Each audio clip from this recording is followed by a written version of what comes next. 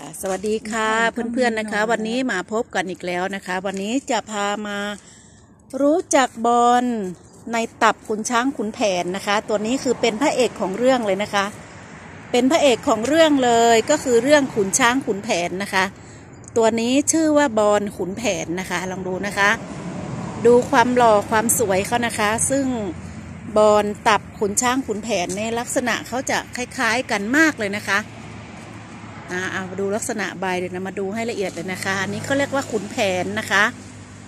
ดูลักษณะใบนะคะจะเป็นแบบนี้มาใบแบบนี้นะคะ เส้นใบออกสีชมพู สีแดงนะคะ สวยมากเลยนะคะนานี้เส้นใบของขุนช้างขุนแผนนะคะเขาเรียกว่าบอลขุนแผนนะคะ ขุนแผนนี่จะเป็นพระเอกของเรื่องรูปร่างหน้าตาหล่อมากเลยนะคะ บอลจะเป็นสีออกสีชมพูนะคะ เส้นใบสีแดงเนาะแล้วก็มีตรงปลายนะคะ ตรงขอบจะเป็นสีเขียวนิดๆนะคะ เขียวไม่มากนะคะ แล้วก็จะมีกัดลาย กัดสีขาวแล้วก็สีชมพูนะคะ เพื่อนๆลองดูนะ นี่คือขุนแผนนะคะจำไม่ด้วย ลักษณะนี้เขาเรียกขุนแผนนะคะ นี่คือขุนแผนนะคะ นี่คือบอลขุนแผนนะ เพื่อนๆลองมาดูนะคะทีนี้เรามาดูก้านนะคะ ก้านออกจะเป็นสีม่วงนะคะ สีม่วงเลยนะคะ เห็นไหมคะ ม่วงอมดำคือบอลขุนแผนนะคะนะม่วงอมดำเลยนะอันนี้ถึงแม้ว่าจะเริ่มหน้าแล้งนะคะ เขาก็ยังแตกขึ้นมาเห็นไหมคะ เห็นต้นเล็กๆนะคะ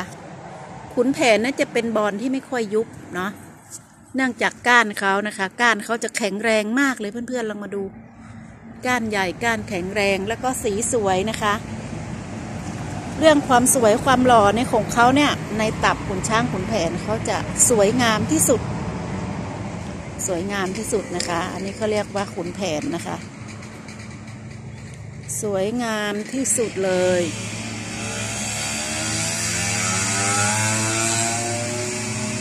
ขุน แผนนะคะ ในตับขุนช้างขุนแผนสวยงามนะคะ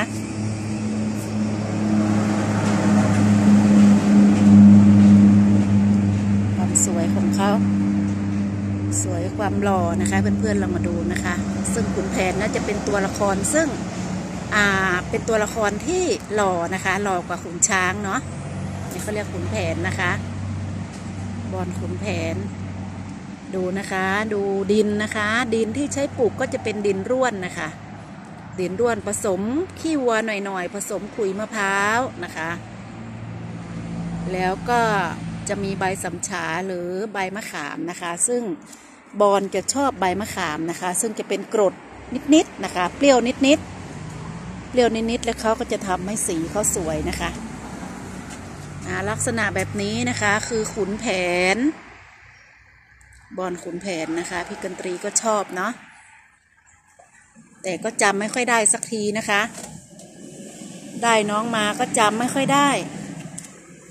นี่ชื่อขุนแผนนะคะเพื่อนๆลองมาดู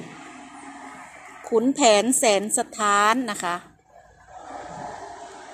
ใบเขาจะเป็นลักษณะแบบนี้ ขุนแผนแสนสถาน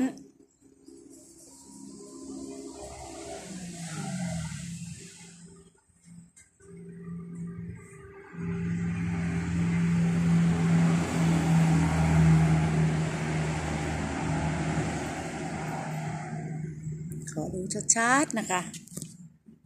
ใบเขาก็ลักษณะไม่แหลมเท่าไหร่นะเพื่อนๆมาดูนะ ใบลักษณะนี้ก็เรียกขุนแผนนะคะ